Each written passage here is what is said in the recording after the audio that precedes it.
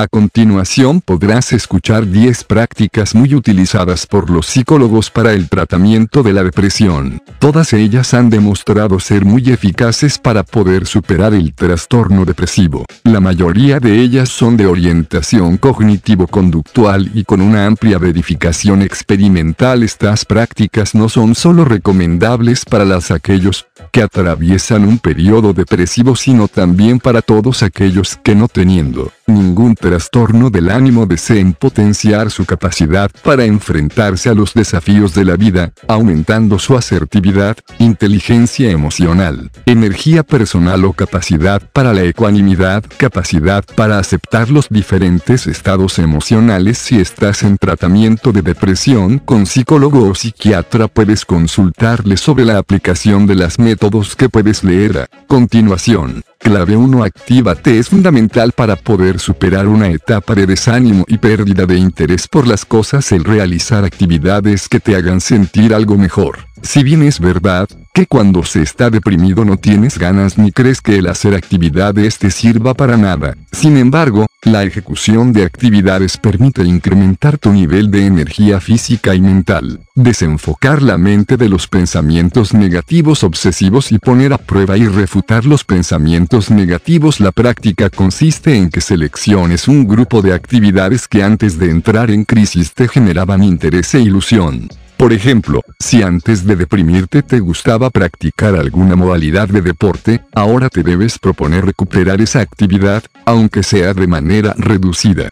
Para poder ampliar esta práctica y buscar ideas sobre las actividades que antes te gustaban puedes ver la práctica de activación conductual. La primera clave para superar la depresión es la activación conductual. La activación conductual junto con el cambio de los pensamientos negativos son las claves más importantes para superar la depresión según los psicólogos. Clave 2 Positiva tus pensamientos. Esta práctica es la más utilizada por los psicólogos de orientación cognitivo-conductual. Consiste en aprender a que puedas identificar los pensamientos negativos, que suelen tener carácter automático y semi-inconsciente. Normalmente son breves y muy tóxicos, por ejemplo soy estúpido, jamás conseguiré mejorar, todos consiguen lo que yo soy incapaz, etc. Una vez identificados debes aprender a sustituirlos por otros pensamientos que tengan carácter realista, lógico, racional y positivo.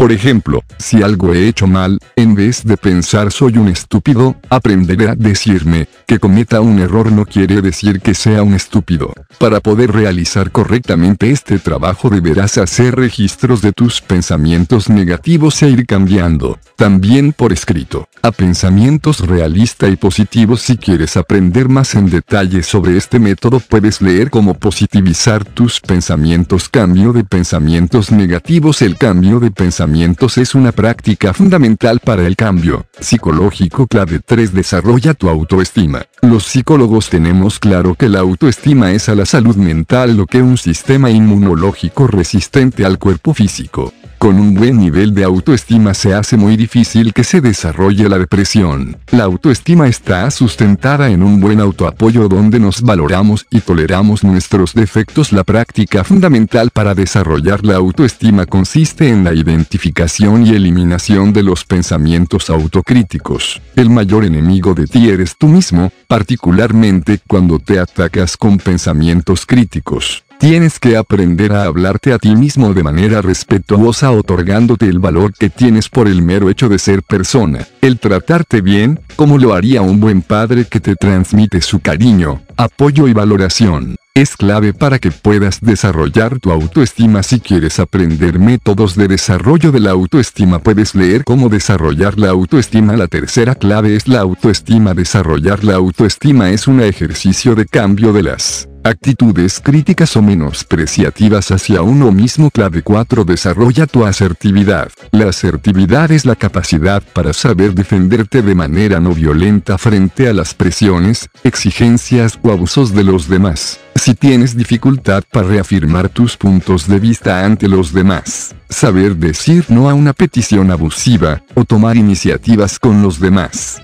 Posiblemente necesites aprender a desarrollar tu asertividad. Si te sientes incapaz de responder a las exigencias abusivas de los demás, Posiblemente esto te haga sentirte débil e inseguro y acabarás criticándote a ti mismo en lugar de ser crítico con los demás. Si quieres aprender a mejorar tu asertividad puede leer cómo desarrollar tu asertividad. Para muchos psicólogos el desarrollo de la asertividad es fundamental para mejorar la autoestima y superar la depresión. La asertividad es la capacidad para defender los propios derechos. Una persona asertiva es capaz de expresar sus necesidades de una manera constructiva y firme pero no violenta. Clave 5 Desarrolla tu inteligencia emocional El saber aceptar y tolerar los diferentes estados emocionales, aunque sean negativos, será una de las mejores ventajas con las que puedes contar en la vida. Si tienes ansiedad, tristeza, temor o rabia y te puedes controlar sin que estas emociones te desborden, serás una persona con una buena capacidad de autocontrol. Y claro, si sabes tener tolerancia y aceptación de las emociones negativas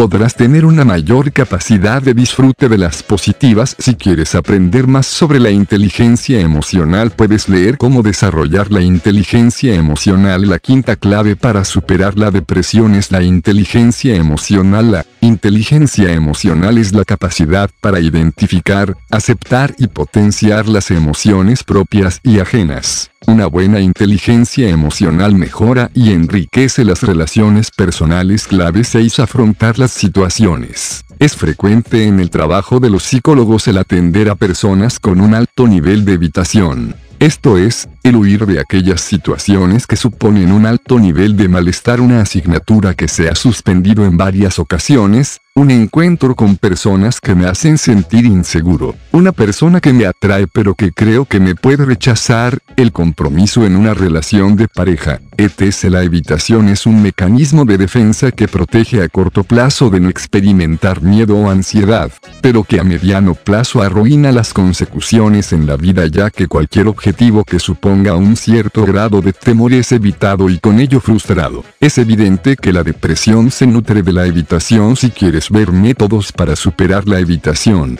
Puedes leer cómo afrontar las situaciones. Una práctica habitual de los psicólogos es el potenciar la motivación de los clientes para enfrentarse a aquellas situaciones temidas o evitadas. El afrontar las situaciones que nos dan miedo nos va a aportar un sentimiento de seguridad y competencia que es muy valioso para superar la depresión. Clave 7 establece objetivos. Una de las características típicas de la depresión es la pérdida de interés por alcanzar objetivos. Las personas siempre necesitamos tener metas, mayores o menores, que poder conseguir en la vida para estar ilusionados y estimulados. El saber establecer objetivos que me ilusiones serán un importante estímulo para superar la depresión y en general en la vida para tener buenos estímulos de superación si quieres ver qué método te puede ayudar a clarificar tus objetivos puedes leer cómo establecer objetivos. Establecer objetivos es un procedimiento habitual en la terapia psicológica. El tener objetivos en la vida genera una ilusión de futuro que es vital para combatir la depresión. Clave 8 Aprende a relajarte. Otra de las técnicas más enseñadas por los psicólogos es la relajación. Esta técnica es fundamental para que aprendas a aflojar tus músculos y con ello también tu mente. Cuando el cuerpo está relajado,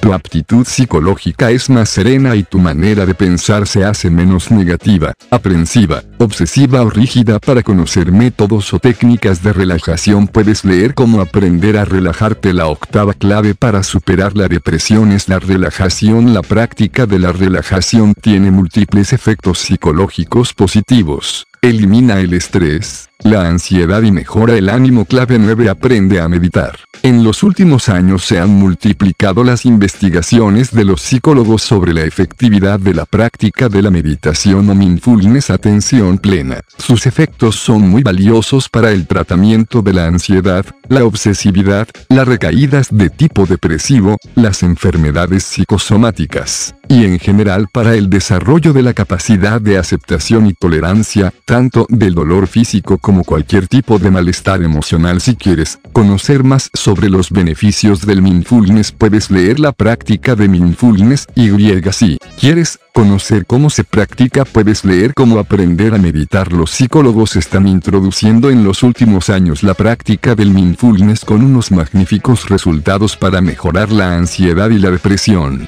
La práctica asidua de la meditación asegura un fortalecimiento en la capacidad para tolerar el malestar emocional entre otros muchos beneficios clave 10 aprender a solucionar los problemas. El saber solucionar los diferentes problemas a los que la vida nos somete es algo que podemos aprender o mejorar a través de estrategias de solución de problemas que han sido bien constatadas empíricamente. Se trata de desarrollar la capacidad de saber valorar adecuadamente los pros y los contras que implica cualquier toma de decisiones para poder elegir adecuadamente si quieres conocer los métodos de solución de problemas puedes leer cómo solucionar tus problemas La solución de problemas es una estrategia empleada en la terapia psicológica como aprendizaje de habilidades para solucionar los problemas Muchas depresiones tienen su origen en una dificultad para poder solucionar los problemas que la vida nos trae. Aprender a evaluar las situaciones para saber ver lo bueno y lo malo de la decisión que tomemos nos va a ayudar a saber elegir adecuadamente y eso nos ayudará a tener mejor autoestima y estado de ánimo como aplican estos métodos los psicólogos cada persona es totalmente única e individual,